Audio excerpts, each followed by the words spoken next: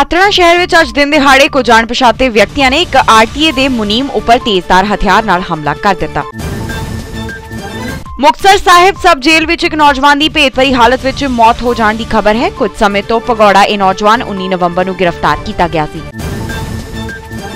ਅਫਗਾਨਿਸਤਾਨ ਦੇ ਖੋਸਟ ਵਿੱਚ ਪੈਂਦੇ ਮੰਦੋਜ਼ੀ ਜ਼ਿਲ੍ਹੇ ਵਿੱਚ ਇੱਕ ਮਸਜਿਦ 'ਚ ਹੋਏ ਧਮਾਕੇ ਦੌਰਾਨ ਅਫਗਾਨ ਫੌਜ ਦੇ 10 ਜਵਾਨਾਂ ਦੀ ਮੌਤ ਹੋ ਗਈ, ਜਦਕਿ 15 ਜ਼ਖਮੀ ਹੋ ਗਏ। ਫਾਜ਼ਿਲਕਾ ਜ਼ਿਲ੍ਹਾ ਪੁਲਿਸ ਨੇ ਚੋਰੀ ਡਕੈਤੀ ਅਤੇ ਵਾਹਨ ਚੋਰੀ ਕਰਨ ਵਾਲੇ ਦੋ ਵੱਖ-ਵੱਖ ਗਿਰੋਹ ਦੇ 7 ਮੈਂਬਰਾਂ ਨੂੰ ਕਾਬੂ ਕਰਕੇ ਉਹਨਾਂ ਪਾਸੋਂ ਲੱਖਾਂ ਦੇ ਸੋਨੇ ਚਾਂਦੀ ਦੇ ਗਹਿਣੇ, ਮੋਟਰਸਾਈਕਲ, ਮੋਬਾਈਲ ਫੋਨ ਬਰਾਮਦ ਕਰਨ ਵਿੱਚ ਸਫਲਤਾ ਹਾਸਲ ਕੀਤੀ ਹੈ। ਸੁਲਤਾਨਪੁਰ ਲੋਧੀ ਵਿਖੇ ਸ੍ਰੀ ਗੁਰੂ ਨਾਨਕ ਦੇਵ ਜੀ ਦੇ 550 ਸਾਲਾ ਸਮਾਗਮ ਦੇ ਆਗਾਜ਼ ਦੇ ਮੱਦੇਨਜ਼ਰ ਪੰਜਾਬ ਦੇ ਮੁੱਖ ਮੰਤਰੀ ਕੈਪਟਨ ਅਮਰਿੰਦਰ ਸਿੰਘ ਨੇ ਸਾਬਕਾ ਪ੍ਰਧਾਨ ਮੰਤਰੀ ਡਾਕਟਰ ਮਨਮੋਹਨ ਸਿੰਘ ਤੇ ਪੰਜਾਬ ਦੇ ਰਾਜਪਾਲ ਵੀਪੀ ਸਿੰਘ ਬਦਨੌਰ ਸਮੇਤ 150 ਕਰੋੜ ਰੁਪਏ ਦੇ 26 ਵਿਕਾਸ ਕਾਰਜਾਂ ਦਾ ਨੀਂਹ ਪੱਥਰ ਰੱਖਿਆ।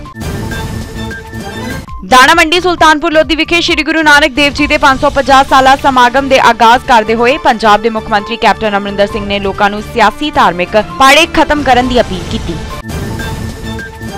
ਪਾਕਿਸਤਾਨ ਦੇ ਖੈਬਰ ਪਖਤੂਨਖਵਾ ਵਿੱਚ ਹੋਏ ਬੰਬ ਧਮਾਕੇ ਵਿੱਚ 25 ਲੋਕ ਮਾਰੇ ਗਏ ਹਨ ਅਤੇ 30 ਲੋਕ ਜ਼ਖਮੀ ਹੋਏ ਹਨ।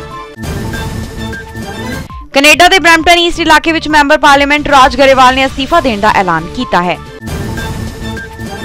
ਦਿੱਲੀ ਵਿੱਚ 4 ਨਵੰਬਰ ਤੋਂ ਸ਼ੁਰੂ ਹੋਏ ਸਿਗਨੇਚਰ ਬ੍ਰਿਜ ਆਪਣੇ ਸ਼ੁਰੂਆਤ ਤੋਂ ਹੀ ਵਿਵਾਦਾਂ ਤੇ ਚਰਚਾ ਦਾ ਵਿਸ਼ਾ ਬਣਦਾ ਰਿਹਾ ਹੈ। ਕਦੀ ਪੁਲ ਨੂੰ ਲੈ ਕੇ ਸਿਆਸੀ ਖਿੱਚੋਤਾਣ ਦੇਖਣ ਨੂੰ ਮਿਲਦੀ ਹੈ ਤੇ ਨਾਲ ਹੀ ਸਥਾਨਕ ਲੋਕਾਂ ਵੱਲੋਂ ਆਵਾਜਾਈ ਕਾਨੂੰਨ ਦੀਆਂ ਧੱਜੀਆਂ ਉਡਾਉਂਦੇ ਹੋਏ ਪੁਲ ਦੀ ਰੇਲਿੰਗ ਤੇ ਸੈਲਫੀਆਂ ਲਈਆਂ ਗਈਆਂ। ਚੱਲਦੀਆਂ ਕਾਰਾਂ, ਮੋਟਰਸਾਈਕਲਾਂ ਤੇ ਸਟੰਟ ਕੀਤੇ ਗਏ।